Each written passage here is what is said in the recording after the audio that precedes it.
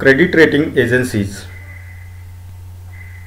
म्हणजेच फायनान्शियल मार्केट्समधील विविध प्रकारच्या सिक्युरिटीचे क्रेडिट रेटिंग किंबहुना पतदर्जा निर्धारित करणाऱ्या या देशातील विविध कंपन्यांच्यामधील काही महत्त्वाच्या कंपन्यांचा अभ्यास आपण करत आहोत. या अंतर्गत आपण केअर आणि इक्रा या दोन क्रेडिट रेटिंग इन्स्टिट्यूशनबद्दलची माहिती यापूर्वी आपण घेतलेली आहे.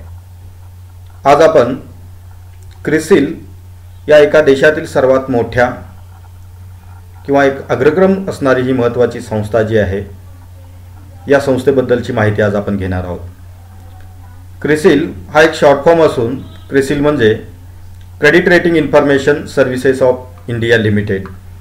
म्हणजेच क्रिसिल ही एक त्या ठिकाणी या देशामध्ये क्रेडिट रेटिंग करणाऱ्या अनेक वेगवेगळ्या प्रकारच्या संस्थांच्यामधील एक महत्त्वाची क्रेडिट रेटिंग किंवा पतदर्जा संस्था म्हणून तिचा उल्लेख केला जातो.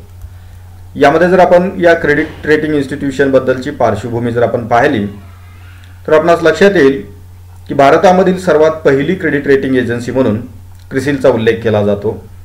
या क्रिसिलची स्थापना जानेवारी एकोणीसशे अठ्ठ्याऐंशीमध्ये झालेली असून या देशामध्ये जेव्हा सर्वप्रथम क्रेडिट रेटिंगची प्रोसेस ही सुरू झाली पतदर्जा निर्धारण करण्याची प्रक्रिया या कॅपिटल मार्केटमध्ये सुरू झाली. किंबहुना त्या ठिकाणी securities and exchange board of इंडियाच्या स्थापनेच्या पूर्वीपासूनच क्रिसिल नावाची संस्था यामध्ये कार्यरत असल्याचे आपणास दिसून येईल. अर्थात सेबी आणि क्रिसिल या समकक्ष समान वयोमानाच्या असणाऱ्या या संस्था असल्या तरी देखील क्रिसिल ही एक पतदर्जा निर्धारणाची संस्था असून सेबी ही एक कॅपिटल मार्केटची रेग्युलेटरी अथॉरिटी म्हणून कार्यरत आहे. या संस्थेच्या स्थापनेकरिता प्रामुख्याने industrial credit and investment corporation of India म्हणजेच I C I C I limited unit trust of India की जो या देशातील सर्वात मोठा म्युच्युअल फंड म्हणून ज्याचा उल्लेख केला जातो ते म्हणजे यू टी आय लिमिटेड आणि इतर वेगवेगळ्या प्रकारच्या वित्तीय संस्थांनी एकत्र येऊन या देशातील वेगवेगळ्या कंपन्या वेगवेगळ्या प्रकारच्या पब्लिक सेक्टर अंडरटेकिंग्स किंवा ज्या ज्या संस्थांना भांडवल बाजाराच्या माध्यमातून असेल नाणे बाजाराच्या माध्यमातून असेल की ज्यांना भांडवल संकलन करावयाचं आहे अशा वेगवेगळ्या प्रकारच्या वित्तीय संस्थांना आपल्या सिक्युरिटीज विक्री करण्याकरिता अधिकची इन्फॉर्मेशन देण्याची व्यवस्था म्हणून या पतदर्जा संस्थांची स्थापना झालेली होती. या पतदर्जा संस्थांच्यामध्ये सर्वप्रथम पुढाकार घेऊन I C I C I bank व युनिट ट्रस्ट ऑफ इंडिया त्याचबरोबर इतर वेगवेगळ्या फायनान्शियल इन्स्टिट्यूशन्स व बँकांनी एकत्र येऊन क्रिसिल या संस्थेची त्या ठिकाणी स्थापना केली. प्रत्यक्षात त्या ठिकाणी या संस्थेची पब्लिक लिमिटेड लिमिटेड कंपनी म्हणून नोव्हेंबर एकोणीसशे त्र्याण्णवमध्ये त्या ठिकाणी निर्मिती झाल्याचे आपणास दिसून येते. तत्पूर्वी एकोणीसशे अठ्ठ्याऐंशी ते एकोणीसशे त्र्याण्णव या कालावधीमध्ये क्रिसिल ही एक त्या ठिकाणी खाजगी प्रकारची मालमत्ता असणारी संस्था म्हणून कार्यरत होती. मात्र एकोणीसशे त्र्याण्णवपासून ती एक पब्लिक लिमिटेड कंपनी म्हणून कार्यरत असल्याचे आपणास दिसून येईल.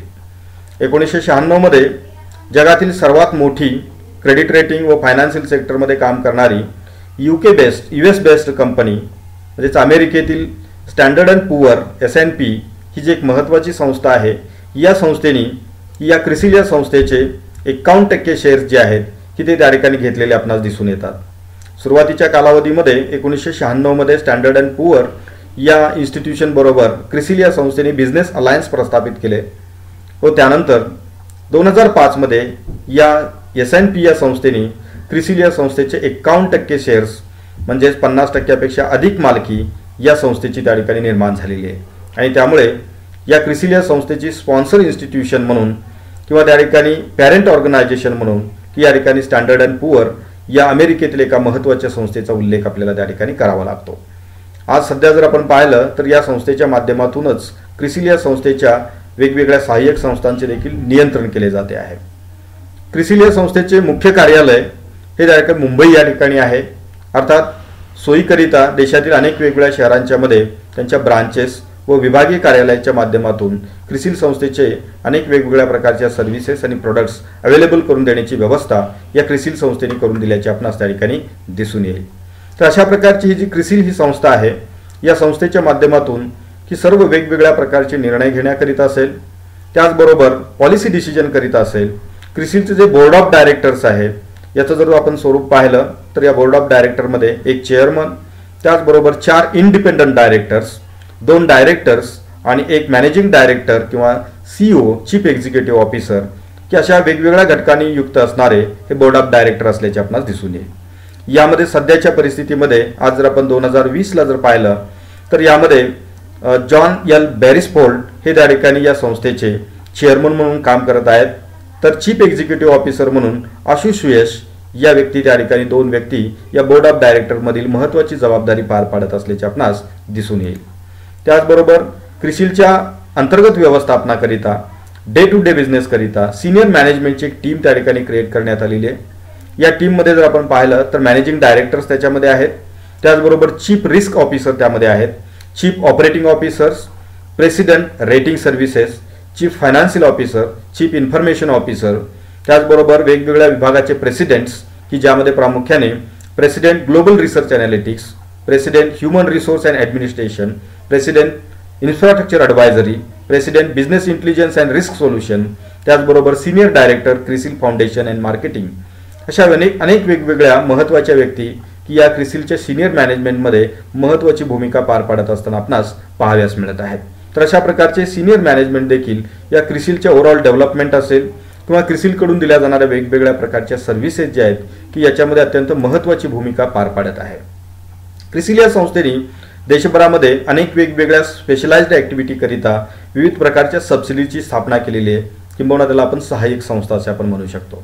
क्रिसिल या संस्थेने global research and analytics G R and A ही एक महत्त्वाची संस्था स्थापन केलेली असून या संस्थेच्या माध्यमातून जगभरातील वेगवेगळ्या देशामध्ये त्याचबरोबर भारतामध्ये वेगवेगळ्या प्रकारच्या रिसर्च ॲक्टिव्हिटीज कंडक्ट करण्याचे काम या संस्थेच्या माध्यमातून केले जाते.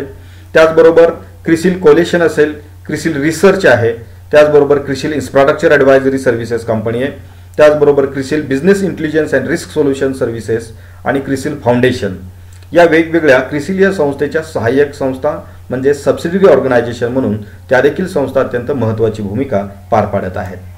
क्रिसिल संस्थेच्या माध्यमातून ज्या रेटिंग सर्व्हिसेस प्रोव्हाइड केल्या जातात त्याचं वर्गीकरण आपण प्रामुख्याने तीन कॅटेगरीजमध्ये करू शकतो. यामध्ये प्रामुख्याने corporate sector rating financial sector rating आणि स्ट्रक्चर्ड फायनान्स रेटिंग या तीन महत्त्वाच्या कॅटेगरीज आहेत. या व्यतिरिक्त इतर वेगवेगळ्या प्रकारच्या देखील रेटिंग सर्व्हिसेस क्रिसिलच्या माध्यमातून प्रोव्हाइड केल्या जात असतात. कॉर्पोरेट सेक्टर रेटिंग्समध्ये प्रामुख्याने bank loan rating long term debt instruments असतील शॉर्ट टर्म डेट इन्स्ट्रुमेंट्स असतील.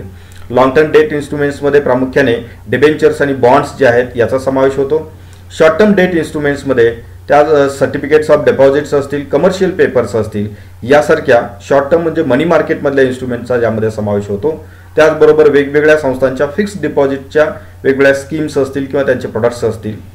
फायनान्शियल सेक्टर रेटिंगमध्ये प्रामुख्याने bonds and hybrid instruments short term debts bank loan instruments and F D यांचा समावेश फायनान्शियल सेक्टरच्या रेटिंग्समध्ये केला जातो. म्हणजेच या देशातील बँका आणि वित्तीय संस्थांच्या माध्यमातून जे वेगवेगळ्या प्रकारचे बॉन्ड्स इश्यू केले जात असतात वेगवेगळ्या प्रकारचे हायब्रिड इन्स्ट्रुमेंट्स म्हणजे ज्याच्यामध्ये भाग भांडवलाबरोबर कर्जपुरवठा देण्याची सुविधा असते की ज्याला आपण हायब्रिड फायनान्शियल इन्स्ट्रुमेंट्स असे आपण म्हणतो. त्याचाही समावेश त्यामध्ये होतो. शॉर्ट टर्म डेट्स असतील म्हणजे कर्ज असतील बँक लोन्स असतील त्याचबरोबर फिक्स्ड डिपॉझिट्स असतील याही घटकांचा समावेश फायनान्शियल सेक्टर रेटिंग्समध्ये हा करण्यात आलेला आहे. स्ट्रक्चर्ड फायनान्स रेटिंगच्या अंतर्गत बँकिंग आणि financial इन्स्टिट्यूशन्समधल्या non banking financial institutes infrastructure entities की ज्या इन्फ्रास्ट्रक्चर सेक्टरमध्ये काम करणाऱ्या वेगवेगळ्या प्रकारच्या कंपन्या असतील फायनान्शियल इन्स्टिट्यूशन्स असतील की ज्यांचा समावेश होतो. त्याचबरोबर अलीकडच्या कालावधीमध्ये ज्या वेगवेगळ्या प्रकारच्या मायक्रो फायनान्स सर्व्हिसेस प्रोव्हाइड करणाऱ्या सूक्ष्म वित्त पुरवठा संस्था म्हणजेच मायक्रो फायनान्स इन्स्टिट्यूट जे आहेत की त्यांचंही रेटिंग त्या ठिकाणी करण्याची व्यवस्था क्रिसिलच्या माध्यमातून करण्यात आलेली आहे. अर्बन लोकल बॉडीज असतील म्हणजे त्यामध्ये महानगरपालिका असतील किंवा नगरपालिका असतील यासारख्या ज्या लोकल बॉडीज आहेत की त्यांच्याकडून निधी संकलनाकरिता जे फायनान्शियल इन्स्ट्रुमेंट जारी केले जात असतात तर अशा इन्स्ट्रुमेंटचे क्रेडिट रेटिंग हे त्या ठिकाणी अपेक्षित असते. तर अशा क्रेडिट रेटिंगकरिता देखील एक स्वतंत्र व्यवस्था क्रिसिलच्या माध्यमातून ही उपलब्ध करून दिल्याचे आपल्याला दिसून येईल. सध्याच्या या वेगवेगळ्या प्रकारच्या क्रेडिट रेटिंगमधले काही महत्त्वाचे जर क्रेडिट रेटिंगचे जर स्केल्स जर आपण पाहिले तर त्यामधील दोन महत्त्वाची उदाहरणं की यामध्ये आपल्यासमोर देण्यात आलेली आहेत की ज्यामध्ये credit rating long term scale की ज्यामध्ये प्रामुख्याने CRISIL triple A CRISIL double A CRISIL A CRISIL triple B CRISIL double B यासारखे क्रेडिट रेटिंग्स त्याच्यामध्ये आहेत की ज्यामध्ये प्रामुख्याने लॉंग टर्म स्केलच्या बाबतीमध्ये जर आपण विचार केला तर त्यामध्ये हाय हायेस्ट सेफ्टी जी आहे ते क्रिसल ट्रिपल एमध्ये असते. आणि जे त्या ठिकाणी लोएस्ट सेफ्टी किंवा ज्या ठिकाणी प्रॉब्लेमॅटिक सिच्युएशन असते असे जे फायनान्शियल इन्स्ट्रुमेंट्स किंवा लॉंग टर्म स्केल्सचे आहेत क्रेडिट रेटिंगच्या बाबतीमधले तर क्रिसिल डी जर असेल तर त्या ठिकाणी डिफॉल्ट असणारे ते इन्स्ट्रुमेंट्स असतात किंवा ते लोन्स असतात की ज्यामध्ये धोक्याचे प्रमाण हे सर्वाधिक असते. त्याचबरोबर क्रेडिट रेटिंगच्या बाबतीमध्ये फिक्स्ड डिपॉझिटच्या बाबतीत जर आपण पाहिलं तर त्या ठिकाणी F triple A F double A F A F B F C F D N M अशा अनेक वेगवेगळ्या प्रकारच्या स्केल्स त्या ठिकाणी यूज केल्या जातात की ज्यामध्ये एफ ट्रिपल एच्या अंतर्गत हायेस्ट सेफ्टी असणाऱ्या डिपॉझिटच्या स्कीमचा उल्लेख त्यामध्ये केला जातो.